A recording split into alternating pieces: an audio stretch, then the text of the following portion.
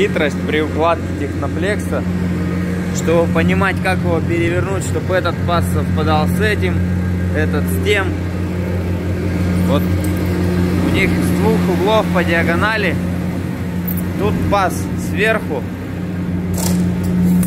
и по диагонали тут этот паз снизу. Здесь пазы один сверху, другой снизу. И здесь также паз один сверху, другой снизу.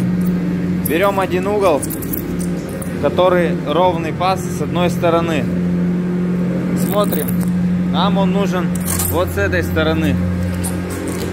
Если этот не подходит, соответственно, подходит вот этот. Всего два переворота. Подставляем, засовываем. Берем следующий лист, также смотрим.